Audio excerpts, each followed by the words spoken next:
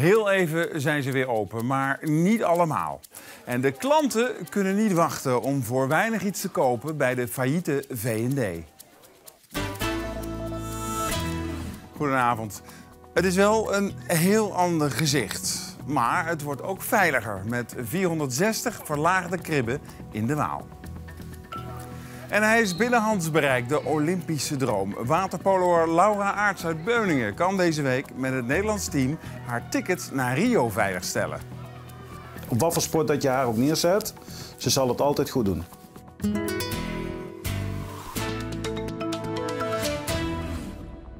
Een gekkenhuis vandaag bij de V&D in Ede. Die opende, net als zo'n twintig andere filialen, voor het eerst sinds weken weer eventjes de deuren. De failliete winkelketen probeert de komende tijd de laatste voorraden te slijten. En dat is een unieke kans voor koopjesjagers die op zoek zijn naar een goede deal. Als je daar in de rij staat, drie kwartier tot een uur in de rij staan, nou, dat hou ik niet vol. Het lijkt alsof alle trouwe klanten van de V&D in Ede hun koopdrang hebben opgespaard sinds het warenhuis vorige maand dichtging. En dat merk je vooral aan de rijen voor de kassa. Hoe lang staat u hier al? Volgens mij een uur. Is het dat waard? Uh, jawel, voor de kindjes hè. Ja, een echte koopjesjager heeft wel wat over voor de juiste prijs. Zelfs al is de winkel maar deels gevuld en gaat ook niet alles weg voor bodemprijzen. Ik heb wel het een en ander, eh, maar heel veel uh, is er gewoon niet. Het ondergoed of wat dan ook, er is al heel veel weg. Of dat is niet in de winkel gelegd, denk ik. Maar uh, maakt niet uit, alles wat met korting is, is wel mooi, toch? Toch zie je niet alleen maar lachende gezichten. Want als je een uur in de rij staat en de kassa sluit ineens, dan ben je wel even boos. Om gewoon zomaar ineens, bam, dat ding gaat dicht, plakken alles af. En de mensen bekijken het maar. Nou, dat vind ik stijloos. En ook de klanten die hun slag willen slaan bij de juwelier grijpen mis. Ik had al een mooi klokje gezien, maar het werd helemaal afgeplakt omdat het niet te scannen was. Dus ik kon uh, geen klokje kopen helaas. Ik had een mooie, uh, mooi horloge gezien en uh, ik dacht, nou dat wordt hem. Ja, toen werd toch alles afgeplakt, dus dat is dan wel weer jammer. Beetje flauw eigenlijk? Ja, eigenlijk wel, want het scheelt toch een hoop geld als je nu wat gaat kopen. Schiet helemaal niet op. Maar goed, ik zie wel. Als het lang duurt, dan leg ze gewoon ergens neer en dan bekijken ze het maar. Toch? De V&D is nog geopend tot 21 april. En op is op.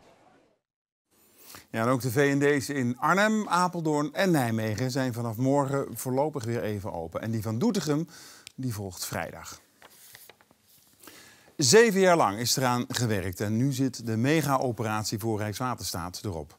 In de Waal tussen Nijmegen en Gorkum zijn honderden kribben verlaagd. bovendien zijn er bij Tiel over een lengte van 10 kilometer zogeheten langsdammen gebouwd om de rivier diep genoeg te houden. Een systeem dat door zijn omvang uniek is in de wereld. Rijkswaterstaat steekt vanochtend met een schip vol gasten van wal. Want bij de opening van zo'n bijzonder project hoort natuurlijk een feestje. Een project waardoor Rijkswaterstaat in de toekomst ook een hoop geld op zak houdt. Daardoor besparen we ongeveer per jaar zo'n uh, miljoen euro aan baggerkosten. Er zijn twee dingen gebeurd. Allereerst zijn de kribben die in de Waal steken afgegraven. Ze zijn een meter lager gemaakt. Stonden de kribben eerst een derde van het jaar onder water. Nu is dat twee derde. Dat komt de veiligheid achter de dijken ten goede dat bij extreme afvoeren dit leidt tot een waterstandsdaling van 6 tot 12 centimeter. Het wordt zeker veiliger door deze maatregel. Maar het bijzondere van het project zijn deze langsdammen. Doordat ze in de lengte van de rivier liggen, wordt het water makkelijker afgevoerd. En er worden zo ook twee vaarwegen gemaakt. De beroepsvaart vindt het al jaren onveilig dat de kleine pleziervaartbootjes zich tussen die grote schepen bevinden. Eigenlijk zeg maar de fietsers op de snelweg eh, naast het grote vrachtverkeer. Nou, en hier hebben we eigenlijk een ventweg zeg maar, aangelegd waar die kleine pleziervaartuigen eh, hun eigen geul hebben om door te varen. 3, 2, 1. En met een druk op de knop wordt de gescheiden geul opengesteld voor de pleziervaart. Ja! Dat is uh, iets heel nieuws. Dat is ontwikkeld vanaf de werkvloer in, uh, bij Rijkswaterstaat. Nou, we kennen een langsdam van deze omvang eigenlijk niet elders op de wereld. Proost, hè? Proost. Kinderen hebben nieuws. Zo heet het nieuwe boek van oud-jeugdjournaalverslaggever en huidig kindercorrespondent Taco Rietveld uit Arnhem. Volwassenen kunnen volgens hem veel beter naar de verhalen van kinderen luisteren. Bijvoorbeeld door betere vragen te stellen. Kinderen hebben vaak ook een verrassende kijk op gebeurtenissen. Rietvelds boek werd vandaag gepresenteerd op de Koninklijke Scholengemeenschap in Apeldoorn. Mensen willen graag gehoord worden. Jongens, kunnen jullie naar boven een klein beetje zachter? Ik ben hier en wij zijn hier uh, omdat ik een boek heb geschreven en we gaan het allereerste boek hier overhandigen. Taco Rietveld, de kindercorrespondent, heeft een boek geschreven. Kinderen hebben nieuws. In het boek legt Taco uit hoe we beter naar kinderen kunnen luisteren. Dat probeerde hij vandaag ook luid duidelijk te maken. ja, en kinderen moeten meer naar volwassenen luisteren. 3, 2, 1, ja! De eerste boeken zijn in ontvangst genomen door de Nationale Kinderombudsman en door videoblogger Joy, die hier in Apeldoorn op school zit. Zij weet als geen ander dat volwassenen soms geen idee hebben wat kinderen voor verhalen hebben. Soms ook over ernstige onderwerpen, zoals de aanslag in Brussel. Ik heb ook heel veel Belgische kijkers. En uh, ja, die vertellen er dan ook over onder mijn video of onder mijn foto's. En ja, dat vind ik best wel heftig. Dus dan probeer ik ook zoveel mogelijk uh, met de kijkers erover te hebben. Kinderen zijn heel erg bezig met Brussel. Uh, ze komen thuis uit school en ze weten alles al. Dus jij hoeft ze als volwassene eigenlijk niks te vertellen. Ehm, ze willen er wel over praten. Want ze zitten ermee, het zit in hun hoofd, ze zijn ermee bezig. En dus moeten ze dat kwijt. Luisteren, dat is dus heel belangrijk. Ook al blijft dat soms moeilijk. Volwassenen moeten beter naar kinderen luisteren. Wat zeg je precies? Ik kan niet zo goed verstaan. Volwassenen moeten beter naar kinderen luisteren. Ruim 40 jaar heeft hij gewerkt aan zijn verzameling. Maar deze week was hij in één klap zijn hele collectie klokken kwijt. Na een inbraak. Ik kook en ik ben ook zeer verdrietig. Geert Jansen is door, door commissaris van de Koning Cornelia aangesteld als verkenner in de gemeente Renkum. Hij moet kijken of de verhoudingen tussen burgemeester Gebbe en de gemeenteraad hersteld kunnen worden. De burgemeester ligt onder vuur omdat hij beschonken is gezien in het centrum van Arnhem tijdens een bereikbaarheidsdienst. Het aanstellen van de verkenner is het resultaat van het overleg dat de fractievoorzitters gisteren met de commissaris van de Koning Cornelia hadden. Geert Jansen is voormalig commissaris van de Koningin in Overijssel. En in april komt hij met zijn eerste bevindingen. Je rolt er vaak vanzelf in, in een baantje als oppas bij familie of bij vrienden. Maar wil je het echt goed aanpakken en professioneel babysitter worden, dan is er nu de oppascursus voor tieners. Gisteren volgden tien meiden in Nijkerk deze cursus om uiteindelijk gediplomeerd aan de slag te gaan. Maar je hebt ook broertjes en zusjes die helemaal niet met elkaar om kunnen gaan. En dan ja, dat je ze maar beter uit elkaar kan houden. En daarom is nu in Nijkerk de cursus oppassen. Nou, welkom allemaal, dames. Leuk dat jullie er zijn. Tweede bijeenkomst, oppasdiploma. Voor praktische tips om stuurse peuters aan te kunnen, maar ook om bijvoorbeeld de vergoeding goed te regelen. Door deze cursus uh, bieden we ook de mogelijkheid om net even wat meer te leren over... nou, hoe doe ik dat nou als een kind niet luistert? Of uh, hoe onderhandel ik over het salaris? Of uh, hoe maak ik nou eigenlijk kennis? En wat doe ik als een kind zich gesneden heeft of nou ja, zich per ongeluk brandt? De cursus is vier avonden achter elkaar, maar dan leer je ook wat. Nou, het is meestal met spelen dat andere kinderen het, het, ene leuk vinden en andere kinderen het andere. En met naar bed brengen is soms nog wel lastig. En gewoon als er iets gebeurt met veiligheid of zo, dan wil ik wel zeker weten wat ik dan moet doen. De gemeente Arnhem heeft verkeersregelaars ingezet bij het Olympus College. Volgens de school is er door wegwerkzaamheden sprake van een levensgevaarlijke verkeerssituatie. Scholieren moeten s ochtends vroeg tussen de af- en aanrijdende graafmachines door naar school fietsen. Bij de gemeente zijn er verschillende klachten over de veiligheid binnengekomen. En ook de school trok aan de bel. En daarom is besloten verkeersregelaars in te zetten. Eind van de week moeten de werkzaamheden klaar zijn. Kunstmest maken uit afvalwater of van koeienmest. Nijhuis Water Technology uit Doetinchem heeft er de innovatieprijs Achterhoek 2016 mee gewonnen. Het bedrijf nam het op tegen twee andere vernieuwende bedrijven, maar het publiek koos voor Nijhuis. Een grote gele container. Dat is de prijswinnende installatie van de buitenkant. En zo is hij van binnen. Een boel draden, slangen en computers. Uh, hier binnenin gebeurt het. Hier staat dus alle techniek opgesteld die nodig is om uh, uit deze bruine slurry een mooie blanke kunstmest te maken. Groot Zevert Vergisting in Beltrum test het apparaat momenteel. Bedacht en uitgewerkt door Nijhuis. De uitvinding kreeg van de drie genomineerden de meeste stemmen. Uiteindelijk toch hebben 64% van alle Achterhoekse ondernemers hebben voor Nijhuis gekozen. Dus daar waren we zeer blij mee. Een echte installatie is vijf keer zo groot als deze en er staat er alleen in Engeland. Nijhuis verwacht dat het op den duur ook voor boeren mogelijk moet worden een dergelijke installatie aan te schaffen. Maar de kunstmest is nu al voor iedereen. Dit kan zo op de land uh, toegepast worden. En er kan weer ontzettend mooie producten van groeien waar jij en ik lekker van kunnen smullen. Brutaal, fel en nergens bang voor Laura Aarts uit Beuningen. Ze is pas 19 en nu al een vaste waarde in het Nederlands waterpolo-team. Haar droom is het bereiken van de Olympische Spelen in Rio de Janeiro. En deze week is ze met haar team op jacht naar een ticket om daar te komen.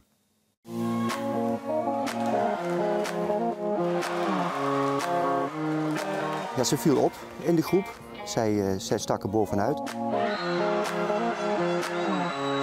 Zij heeft het gewoon in. En ik denk ook, op wat voor sport dat je haar ook neerzet, ze zal het altijd goed doen. Gouda gisteravond. Oranje speelde een taaie wedstrijd tegen Rusland in het kwalificatietoernooi voor de Olympische Spelen. De Beuningse Laura Aarts is inmiddels de vaste keeper van het Nederlandse team. Ja, dat voelt heel tof. Uh, ja, ik haal er in, in ontzettend veel energie uit. Ja, natuurlijk, het is een, uh, ja, wel een zware taak, uh, vind ik. Want ja, je, je, wordt toch wel een beetje wat dingen van je verwacht. En, maar ja, ik vind het ook wel een fijne taak. Want ja, je, je, je, gaat, je speelt en dat is waar je het voor doet. Fel en gedreven. Maar wie denkt dat Laura altijd al in het water lag, heeft het mis. Ja, kom maar.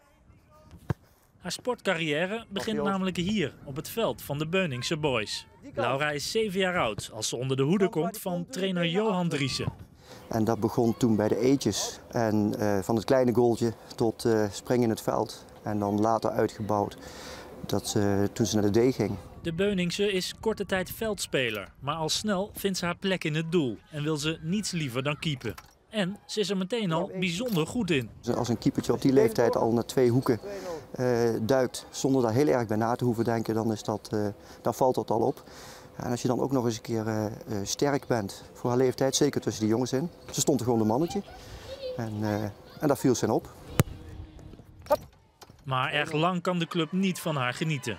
Als Laura voor de grap wordt uitgenodigd voor een potje waterpolo, hangt ze haar voetbalschoenen aan de wilgen.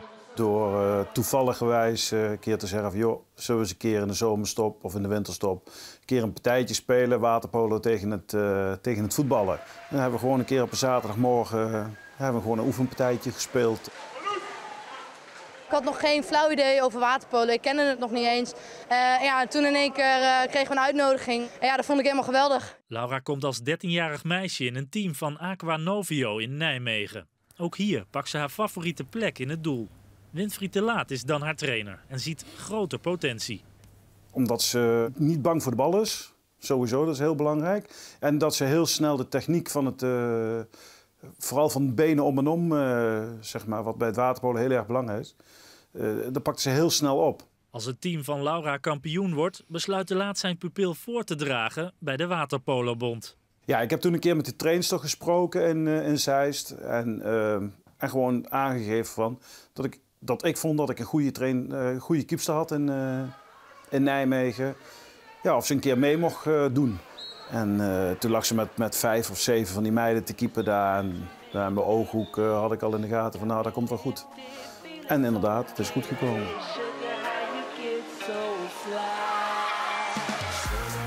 Tijdens het WK vorig jaar maakt Aarts doorbraak in Oranje. Op dit moment heeft ze nog maar één doel. En dat is een ticket naar de Olympische Spelen. Maar daarvoor moeten ze nog wel de kwartfinale van het kwalificatietoernooi winnen. Maakt niet uit wie we daar tegenkomen. We gaan daar gewoon alle passie die we hebben, alle energie die we hebben, gaan we in die wedstrijd steken. En dan gaan we gewoon winnen. Dan gaan we de ticket pakken. Stel, je hebt die ticket. Wat zou dat voor jou betekenen? Alles. Ik heb uh, misschien uh, drie jaar terug gezegd dat uh, Rio de Janeiro mijn droom zou zijn om daar naar de Olympische Spelen te gaan. En niet realiseren dat het eigenlijk zo snel en eigenlijk zo realistisch nu is. Ja, dat betekent veel voor mij. Ik wil er heel graag heen. De wedstrijd tegen Rusland eindigde in een gelijkspel. En vanavond speelt Oranje tegen Italië. En komend weekend zijn de finales. Beduust, kokend van woede en vooral verdrietig. Klokkenverzamelaar Bert Velling uit Wamel is ten einde raad. Inbrekers maakten afgelopen weekend een groot deel van zijn bijzondere verzameling buit. En de ene klok is de andere niet. Bert had namelijk hele dure en exclusieve klokken. Normaal gesproken zou het hier ongeveer zo moeten klinken. Maar sinds de roof is het hier in Berts opslagruimte in Tiel een stuk stiller. De klokkerdieven namen juist 25 van zijn allerduurste en meest zeldzame klokken mee. Hier hebben we dus uh, diverse, ja, dan uh, de duurdere genre hebben we ertussen gehangen. De klokken hebben hier boven op de kast uh, gestaan. Dat loopt helemaal naar achteren toe. Nou, hier heb een klok gestaan, daar heb een klok gestaan en hier heb een heel klokkenstel gestaan. Dan hebben ze hier extra een paardje voor moeten maken. Nee, dat waren hele speciale antieke klokken. Nou, hier hongen ook allerlei uh, klokken. En hier op de kisten lag de mooiste klok van allemaal. Waarde zeker zo'n 25.000 euro, zegt Bert. Ja, dat is uh, echt een museumstuk. Bert verzamelt van alles, maar klokken winden hem al vanaf zijn zestiende op. Sindsdien gaarde hij uurwerken in alle soorten en maten bij elkaar. En dat is nu in één slag is dat weg. Bert is er kapot van. Ja, ik kook. Ik kook echt van moeder. Ik ben heel erg boos. Ik ben ook heel erg verdrietig. Maar mijn boosheid, ja, daarom zal ik ook voorlopig van niet zo goed slapen. Dus ik heb uh, op de knieën uh, zitten huilen vannacht. Dat is echt zo. Het is net of, uh, het is misschien geen vergelijking, maar het is net of ze de kindjes van me afgenomen hebben. Ik ben helemaal neergeslagen, ik ben echt kapot. Ja, Bert hoopt dat hij zijn klokken snel weer terugkrijgt. En hij looft daarom 5000 euro uit voor de gouden tip. En dan nog het weer. We horen het van Jordi Bloem. Ook vandaag waren ze er weer, de zogenaamde geluksopklaringen. Want over het algemeen was het bewolkt, maar zo af en toe vond de zon een gat in het wolkendek, ook hier in Winterswijk vanmorgen. En het was rustig met weinig wind, maar ook vandaag heeft het af en toe een beetje geregend. Er is weinig veranderd nog en voorlopig gaat er ook weinig veranderen aan het Gelderse weer. De stroming draait naar het west-zuidwesten, maar ja, dan krijgen we nieuwe bewolking vanaf de oceaan. En vooral vrijdag volgt er ook een actief oceaanfront. Nou, de komende 24 uur blijft het overwegend bewolkt met misschien iets meer opklaringen vanavond en deels vannacht in de Achterhoek. Daar wordt het dan meteen koud, rond het vriespunt, misschien wat mistbanken. Maar in een groot deel van Gelderland is er nog steeds veel bewolking en wordt het minder koud. Er staat weinig wind. En morgenochtend trekt dan een zwak front over van west naar oost, ook aan het begin van de middag. Daardoor is het overal in de provincie grijs, bewolkt weer, een beetje nevelig. En er valt overal wat lichte regen of motregen. Geen grote hoeveelheden, maar droog is het niet. Smiddags wordt het vanuit het westen wel droog, denk ik, met misschien een verdwaalde opklaring. Weer zo'n geluksopklaring. Er staat een zwakke tot matige zuidwestenwind. Het blijft rustig en het wordt 9 tot 10 graden. Dat zijn ongeveer normale maximumtemperaturen voor deze tijd van het jaar. De norm is 11 graden. Goede Vrijdag dan het oceaanfront met vrij veel regen. Wellicht valt er 10 liter water per vierkante meter. Zaterdag, net voor Pasen, knapt het tijdelijk op. De zon laat zich zien, stevige zuidenwind, maar het wordt 14 graden. Een vleuglente. Ja, tijdens Pasen wordt het wat minder zacht en is het opnieuw wisselvallig. Met af en toe wat zon, maar ook een aantal buien. En dit was Gelderland vandaag. En daarin zag u onder meer dat de failliete V&D op een hoop mensen nog veel aantrekkingskracht heeft. In Ede opende de winkel vandaag weer voor een paar weken en het liep storm. Meer nieuws vindt u op gld.nl en op onze app. Ik wens u nog een fijne avond.